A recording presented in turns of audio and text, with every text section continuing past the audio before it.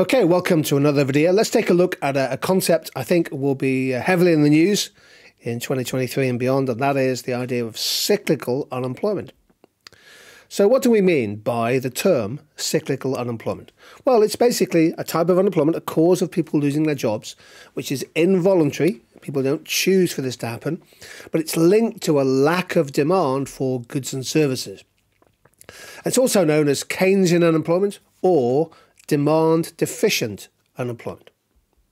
So, how can we show cyclical unemployment using an aggregate demand, aggregate supply analysis diagram?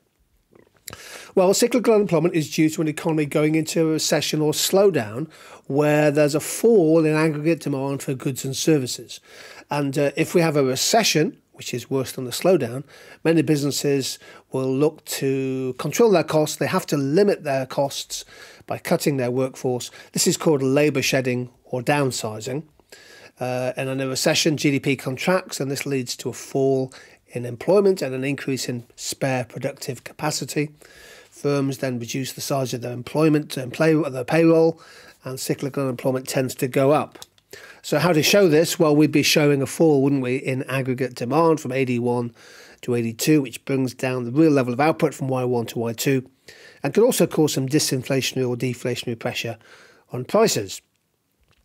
Uh, this could take the economy further away from its potential output. I'm using here a neoclassical diagram. So the fall in AD takes output to Y2, which is well below productive potential, meaning that there's a negative output gap.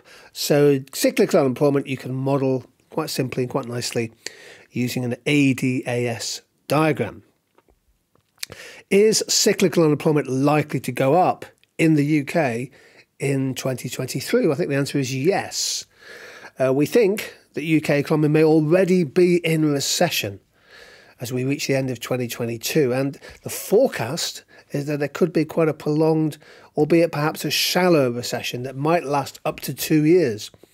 Uh, the Bank of England is forecasting that real GDP will drop by 2% in 2023, a contraction in the size of the economy.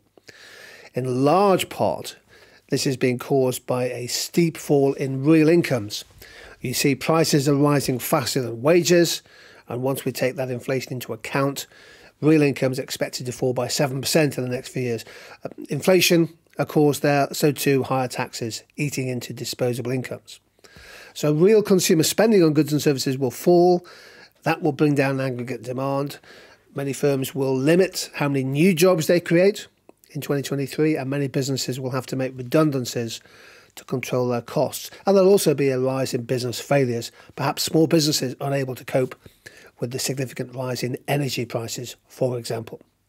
Now, there's various forecasts out there, but most forecasts think that unemployment will go up, cyclical unemployment will rise.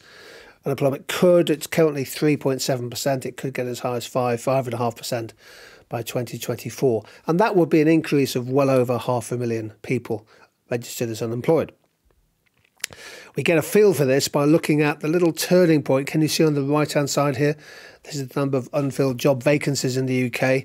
And that fall, albeit from a very high level, 1.3 million, is a sign perhaps of a weakening labour market as cyclical employment falls and cyclical unemployment goes up.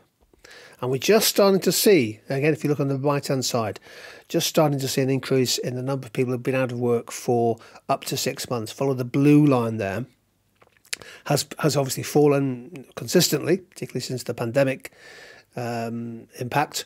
But you can see here the blue line starting to go up, suggesting that people are uh, unemployment just starting to rise, people losing their jobs, firms cutting back and the number of people who've been out of work for up to uh, 26 weeks is now starting to increase. It will take some time for the green and the orange lines, that's longer term unemployment, to, uh, to start moving upwards as well. So, cyclical unemployment likely to be a key concept that you'll be studying and writing about, analysing and evaluating in your economics in 2023. Thanks for joining in. Stay safe, stay happy, stay positive. See you sometime soon.